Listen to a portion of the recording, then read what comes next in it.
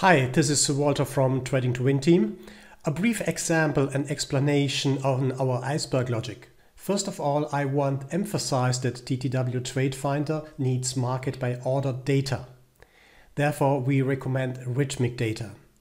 TTW Trade Finder is our trading concept based on Bookmap. We decided to visually depict icebergs, hidden liquidity changes and so on on chart.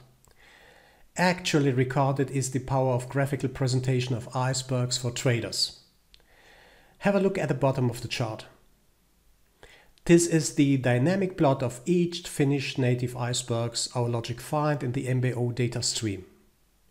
You can easily see on which side bid or ask icebergs are executed. Red are icebergs on ask and green are icebergs on bid. Now you can see without having subchart open what a market is actually trading. Obvious to see that more icebergs are executed on bid than on ask. Additionally, you will be alerted in your PC or mobile phone when the defined threshold is reached and traded at a certain price. Enjoy!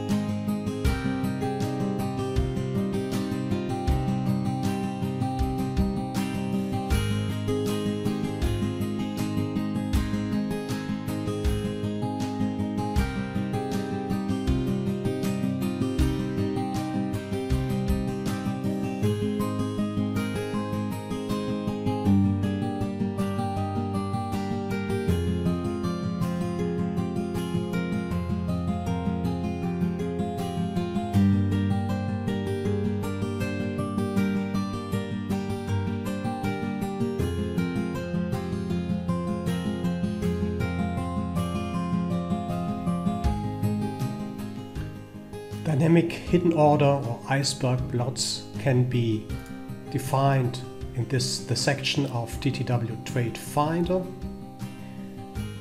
You have to enable them and finally you can select the symbol.